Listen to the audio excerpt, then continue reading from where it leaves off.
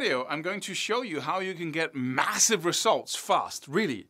I'm serious, because in these videos, I talk about a lot of things, right? I talk about a lot of principles, a lot of things you can do to get more results, inner and outer, right? Uh, things that you can do, but how do you actually apply them? And that's the, the, the, the, breaking point for most people because we see a lot of videos with stuff that could really benefit us, but how much of it are we really acting upon? Right? How much of it are we acting on enough to get an actual result even? And that's like a, you know, a, a I, I, I uh, you know, I've been guilty of this a million times myself, so I'm not pointing fingers, and it's something I'm getting better at all the time. But what you really need to do is, it's a mental uh, thing first. You need to look at the video and say, okay, that was that seemed valuable. How do I apply that specifically, practically? What do I do now? What do I do tomorrow? The next week and for the next month. How does that look visually? You know, I'm sitting down. When am I sitting down? When am I doing this? Am I going to do this first? How many minutes? Because if you don't create a little plan like that, okay, I'm going to do that for 15 minutes each day and see how it works for a month, right? First thing each day or first thing when I sit down and practice. That's, that's creating a plan and a rule that you can follow so you know whether or not you've actually applied that principle or not. But let me just give you an example here because these principles I talk about, I should say that, uh, as you can see, uh, this this uh, is about a new upcoming program that will take these principles and show you how to really apply them, but multiple principles at the same time. And I'm going to give you an, uh, an assignment in this video so you can start experiencing what this really means. So please do it for at least a week to really discover because you need that you need that actual experience of turning a principle or two principles at one time into actual action and getting the result for your brain to say, wow, that was pleasurable. Wow, I want to do that again, right? As soon as it, as long as it's in your head, you're not going to do it. So, um, in the upcoming program, we'll take multiple principles and apply them at one time, practically, specifically, and why? Well, because if you take a simple principle like, well, if you want to develop twice as fast, try practicing twice as much. That's a principle, right? Of doubling the results you get. Okay, let's combine that principle. You also know that if you use focus, right? If you, instead of practicing 10 times each day, or 10 different things each day in a little routine you do over and over again, which is the surefire way of staying mediocre in your playing style, you want to focus. You want to take out one thing and then you want to hammer away at it until you master it, right? And then you want to take the next thing and hammer away at it. That's the way to develop rapidly. That will absolutely give you explosive growth over time. That's another principle. So instead of doing the, the, the practice routine, we focus on one thing. What will that do for you? Well, you know, in my estimation, it's going to make you develop 10 times faster. In fact, it's actually going to bring you there to where you want to go, and the other thing is not. So it's, it's either or in my perspective. But if we apply that, at the same time we apply the, you know, double your practice time, then you get twice the results by practicing twice as much. I'm not saying to do that, but you get twice the results by practicing twice as much. By using the principle of focus, let's just say you just get a measly twice, you know, double on your results by using focus, which is not the case. It's 10 or 100 times, but twice, right? Then you get twice, twice right? You double your results by practicing twice as much. And then you double that by using focus. So that's two times two, it's four, right? And let's say you use another principle like going all the way to mastery, right? Or uh, punching through, which is what we're going to do today.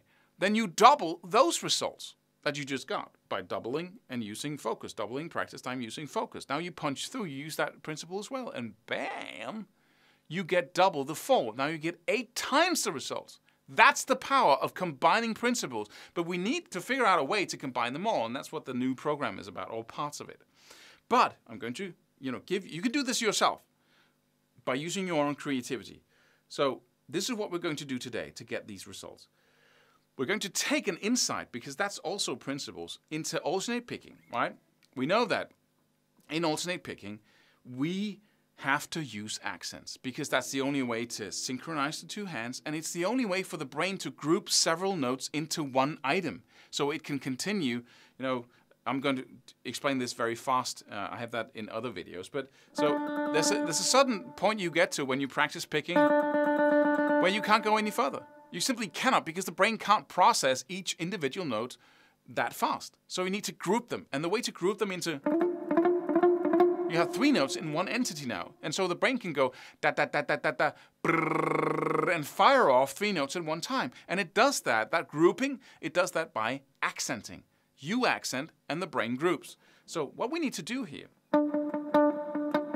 is groups uh, group uh, the notes into three, which is called triplets. So I go I go one, two, three, one, two, three.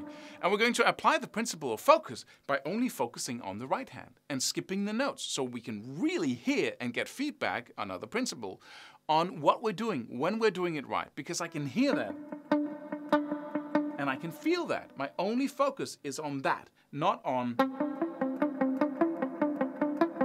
because now my, my focus is split. Sometimes I'm keeping an eye on this, sometimes I'm keeping an eye on that, and then I don't see what's going on when I'm either place, right, with the other.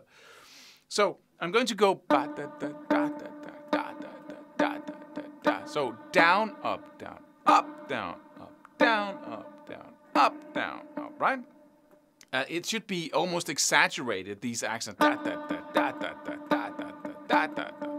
But so we take just one aspect of alternate picking because we can say, okay, I don't want to practice rhythm and chords and legato and alternate picking. I only want to practice alternate picking, but we have we haven't stopped using focus. Let's go even further.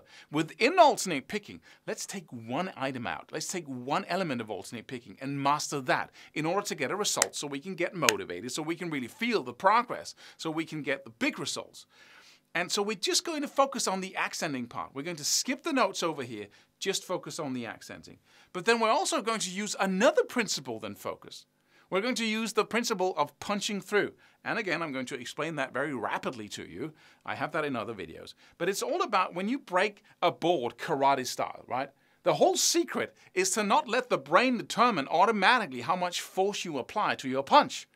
Instead, you use the principle of punching through. You have to aim for a point beyond the board because the brain is a saver. It's all about economy. So it's going to save resources. And that's the first thing it thinks of. And if you allow it to do so, you're just going to punch the board, you're going to hurt your hand, and nothing happens to the board. That's what happens when we practice guitar, right? We hurt our hands, ugh, use a lot of resources, and nothing happens. That's what happens a lot of the times anyway. So you want to punch through. You want to aim for a point beyond the board and then smash through it. If you aim for the finish line when you run a 100 yard dash or meter dash or whatever, if you aim for the finish line, your body's automatically going to slow down when you get within a couple of meters, a couple of yards to it. But if you aim for a point beyond the, the finish line, see, I'm going to run as fast as I can to that point out there, then it's a totally different story because the brain aren't allowed to do its automatic thing of saving resources. So we want to apply that at the same time to get the double double effect. Right? So now we focused on one aspect of alternate picking and we're going to apply the principle of punching through to this one. And what does that mean? That means that you meet this challenge with a lot more force than you expect to use in order to get a result right? And instead of saying, okay, if I practice this for three hours in front of the TV each night or two hours, then I must get a result. Yeah, but try doubling that. Try tripling that. Tr- try quadrupling or, you know, four or five times. Don't know the word for that. Um, how do I do that? I go to work class each day. I, you know, have a family to attend to. Well, as we are only practicing the accents and not the actual picking necessarily, then you can do this. You can have your hand move in the correct way. Oh, that's stupid. Without your instrument, oh, Claus, that wouldn't work. It works. Promise me. Because the brain's going, why are we using resources? It, it, it practices the rhythm of going up, down, up, down, up, down, up, down, up, down, up, down, up, down, up, da, da, da, da, da, da, da, da, da. And you can't do this if you can't do the accents. Then you can't do this without your guitar. But if you can do this with you know, without your guitar all day, da, da, da, da, da, da, da, da, da, then it's so much easier to do it with the string because the rhythm is in your body, right? So that's the one thing you do. At, whenever you can, you can stand, you can talk to people as you, and you can do very subtly, just to have that rhythm going inside as you down, up, down, up, down, up, down, up, down, up, down, up, right? You can do it with your hands. That's the second exercise. Whenever you have idle two hands, you can go right, left, right, left, right, left, right, left, right, left, right. You pause the tape, see if you tape. pause the video. I'm an old geezer. So you go down, up, down, up, down, up, right, left, right, left, right. You simply go.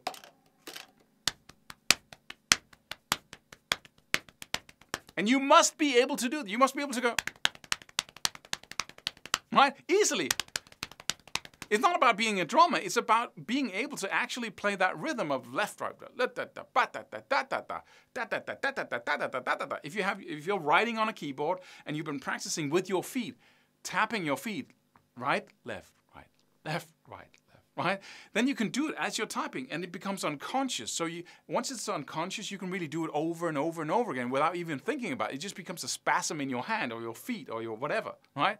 So you can practice all day in this way. But how do you actually apply that? You make sure you can't forget. So you make sure that it, eh, you know your desktop screen, your you have post-it notes everywhere in the beginning until it becomes an unconscious habit. And that's the challenge, is to take one little element of alternate picking, focus on alternate picking beyond anything else, above any, anything else. Practice that for 75, 80% of your actual practice time with your guitar. And then do these exercises every single day. Remind yourself of them. And don't feel like a failure if you can't do that, because you have to become good at doing it. That's the key right? You have to become good at taking action. So you have to remind yourself all the time. Set up a reminder that just ring, you know, every 10th minute it says, you gotta practice, you gotta practice all freaking day until you remember doing it. This is what it takes obsessive focus, right? Looking like an idiot uh, all day, right? That's what it takes. So you apply the principle of focus and you apply the principle of punching through. Do this for four weeks and you're going to be the best accenter ever. And that's going to make the whole alternate picking challenge so much easier, infinitely easier, because now you master one part of it. You're not just good at it, you master it. You can do it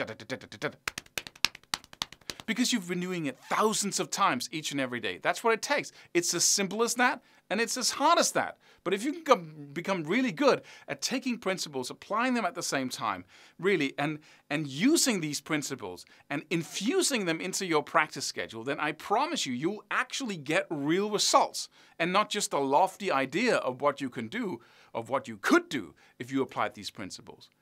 But this, you know, I, I want you to get the experience of doing this. So please do this for at least a week See if you can commit to doing it for four weeks with just one little aspect like this. And I promise you, the results will be amazing. And every other thing you do around that, the rest of altern the alternate picking challenges, you can pick apart, do the same thing with, and bam! Instead of fighting that huge guy, you fight, you know, seven small guys instead, and that's pretty easy. But fighting the huge guy of alternate picking seems impossible, right? So focus, punching through, right? uh, I really hope you'll do this. I sincerely hope you'll do this and get the eureka feeling. But just imagine if we take all the other principles as well and infuse them into that same practice schedule, right? It, it's just amazing what you can do. And the whole, is there a secret to developing faster? No, there isn't. You, you just make a total mockery of the skepticism that people have uh, around, you know, if there's a better way, around if there's a, a secret to do it. There's plenty of secrets. You just have to apply them and use them all at once to get a multitude of results. Uh, as you can hear, I'm pretty passionate about this. So go check out the new program. We're going to take all these principles and make them very real and very practical. And so you, you get it down to a specific thing of what to do in, in a multiple array of areas when it comes to guitar playing, how to actually apply them. Like, let's infuse them into your practice schedule and what you actually do each day to get those results.